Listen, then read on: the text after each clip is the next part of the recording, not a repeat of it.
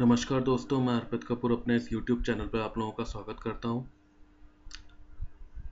M S access में मेरा ये सातवां वीडियो है। पिछले वीडियोस में मैंने आप लोगों को रिपोर्ट बनाना सिखाया क्वेरीज बनाना सिखाया फॉर्म बनाना सिखाया टेबल बनाना सिखाया। मैंने आप लोगों को एक बात बताई थी कि क्वेरीज जो होती हैं, वो दो टाइप की होती हैं।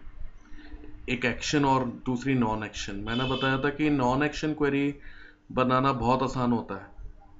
पर एक्शन क्वेरी थोड़ा, जब तक नॉन एक्शन क्वेरी नहीं आती तो एक्शन क्वेरी सीखना थोड़ा मुश्किल काम है।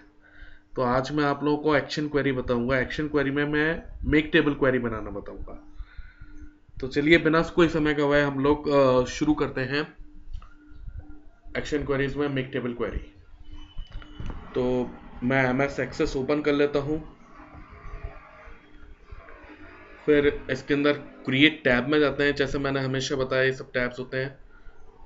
क्वेरी विजर्ड में जाएँगे सिंपल क्वेरी लेंगे then click on the okay button सारे फ़ील्ड सिलेक्ट कर लेता हूँ। ई e नाम की टेबल मैंने बना रखी है। E M P N O E name department designation ये सारे फ़ील्ड मैंने ले लिया then click on the next button again click on the next button modify मैंने हमेशा आप लोगों को बताया कि किस काम में आता है कि टेबल के अंदर अगर आप modify the design query use करेंगे तो आप लोगों की डिज़ाइन व्यू के अंदर आप लोगों की ये क्वेरी विजट खुलता है। तो इसका नाम मैं दे देता हूँ एक्शन क्वेरी वो sorry make table query make table query then click on the finish button देखिए, ये क्वेरी विजट आप लोगों के सामने खुल गया। अब मैं चाहता हूँ मुझे उन लोगों का नाम बताओ जो सेल्स डिपार्टमेंट में काम करते हैं।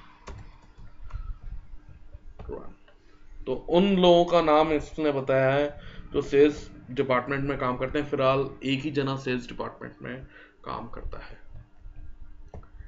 ठीक है? अब मैं चाहता हूँ कि ये जो रिकॉर्ड है, वो ईएमपी e टेबल से हटकर सेल्स टेबल में चले जाए। तो सेल्स टेबल ज़ाहिर सी बात है, हम मुझे बनानी पड़ेगी।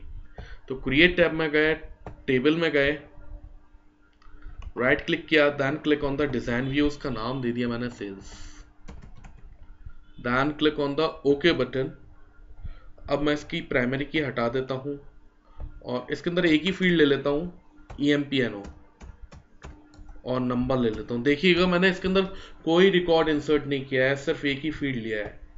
अब ऑटोमेटिकली सारे के सारे रिकॉर्ड्स सारे के सारे फील्ड्स बन जाएँगे इसके अंदर से, इसके अंदर। अब मैं वापस से मेक टेबल क्वेरी खोलता हूँ, इसके डिज़ाइन व्यू में जाता हूँ, और ये देखिए मेक टेबल क्वेरी है अपेंड क्वेरी है अपडेट क्वेरी है डिलीट क्वेरी है, ये सारी क्वेरीज मैं आप लोगों को नेक्स्ट वीडियोस में बताऊँगा। फ़िलहाल मैं मेक टेबल क्वेरी बताता हूँ आप लोगों को।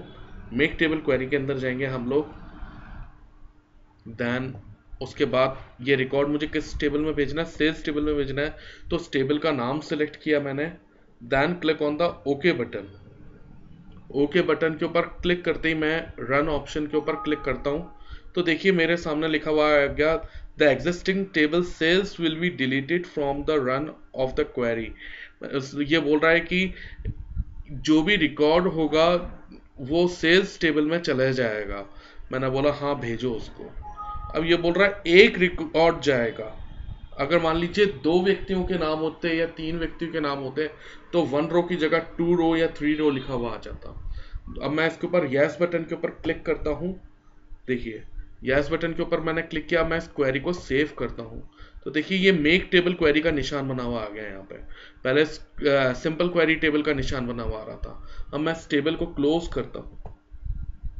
अब सेल्स टेबल देखिए, मैं आपके आँखों के सामने खोल के देखता हूँ। तो देखिए 101 लोकेश सेल्स डायरेक्टर और देखिए, ये सारे फील्ड्स के नाम ऑटोमेटिकली बन गए, जो कि मैंने बनाए नहीं थे। तो मेरे हिसाब से आप लोगों को मेक टेबल क्वेरी समझ में आई होगी। आज के लिए बस इतना ही। नेक्स्ट वीडियो में मैं आप लोगों को अपेंड क्वेरी सिखाऊँगा। Thank you